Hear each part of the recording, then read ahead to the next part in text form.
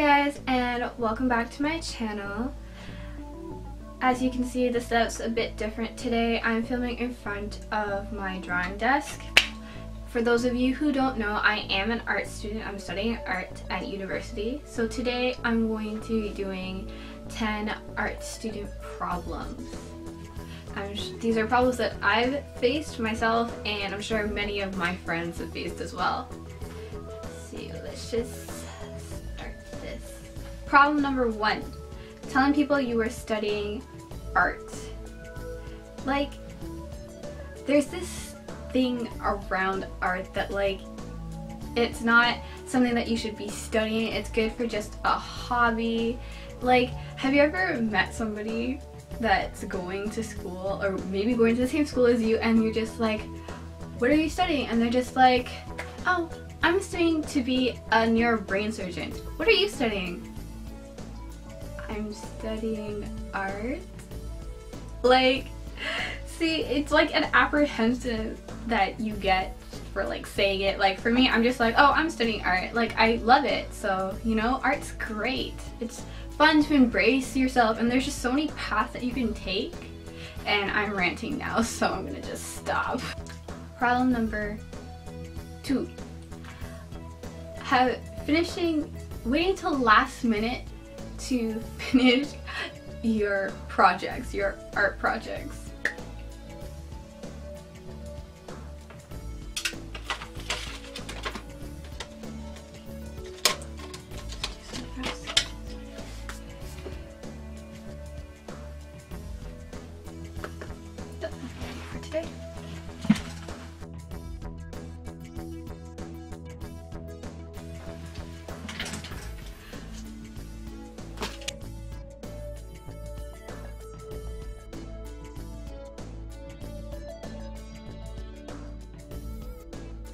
Problem number three, pulling all-nighter to finish an art project versus actually spending about the amount of time you're supposed to on the art project. That art assignment was hard, wasn't it? How long did it take you to do that? Yeah, it really was. This, uh, I did it last night. I pulled an all-nighter. Your looks good too. How long did it take you to do that? It took me three weeks. Problem number four, the cost of art supplies. Do you know how much art supplies cost on a daily? Like you have to pay for your own mediums. Like if you're doing painting, you have to pay for paint. If you're sketching, you have to pay for your pencils, you have to pay for your books, you have to pay for your canvas, you have to pay for, if you're doing sculpting, you have to pay for the materials that you're sculpting with. Like there's just so much money involved with just taking art courses. Like, what? Problem 4.5, sketchbook syndrome slash blank page syndrome or blank canvas syndrome. If you guys are artists, you know what I mean. Like, let me show you. Okay. Exhibit A, sketchbook syndrome. Now this sketchbook cost about $10. It's a really good sketchbook. I just got lipstick all over it. It's a really good sketchbook.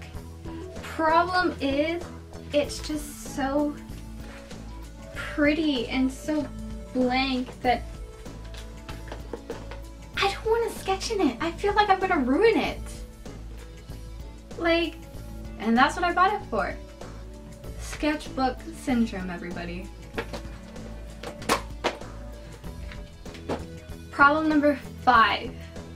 When you have other subjects you need to study for, for exams and tests and stuff, but you know, you just rather draw.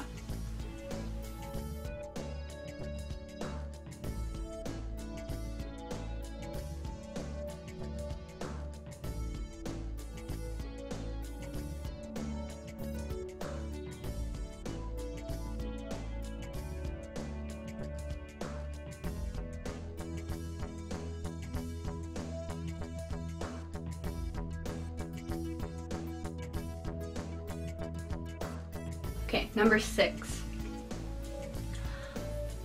You can only look at your piece of work for so long until you just get absolutely fed up with it.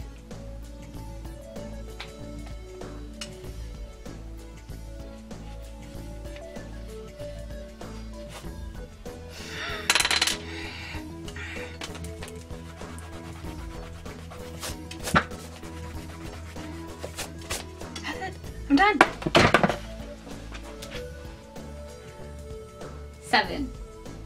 People always asking to see your work. Now, don't get me wrong, that is totally, it's a phenomenal thing to have people, you know, wanting to see your work. Like, every artist wants that. They want people to see your work. I'm talking about when you're just randomly doodling. Like, you're just, you're minding your own business doodling, and then someone comes up to you, oh, let me see. And they take it from you. And you're just like, well, what are, what are you supposed to do? Like, you know? Problem eight, selling your work. Is it just me or do you grow this sort of attachment to whatever piece you make? Like, you don't want to part with it? Like, you know you're gonna get money if you sell it, but like you just physically don't want to part with it like it's a part of you. Anybody? Just me? Well, I guess that's my problem then.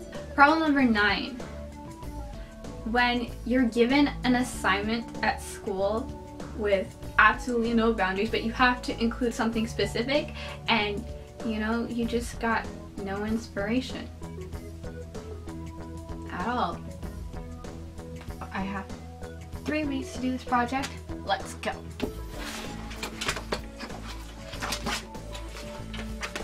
Alright, so what do we have to do? You have to create a still life of anything that you want. Okay. Still life, anything that I want.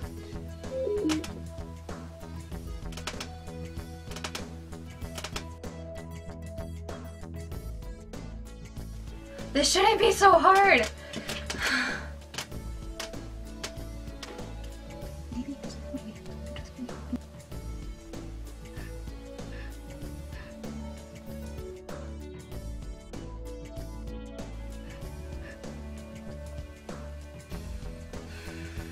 Problem 10 is why do you get all your best ideas? I need us, I need us, that's a word now.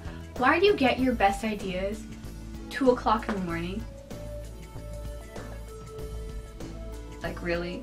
You can't have came to me at 6 o'clock when I was stressing, trying to find inspiration for this project. But no, you decided to come to me 2 o'clock or 3 o'clock in the morning when I can't sleep.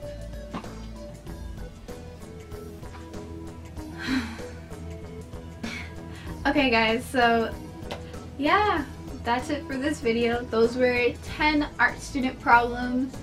I know there's student problems in general, but that was just my personal experience being an art student and studying art. Those are just some problems that I've come across. Let me know what you think. Comment down below. Like this video if you liked it. And I'll see you guys next time.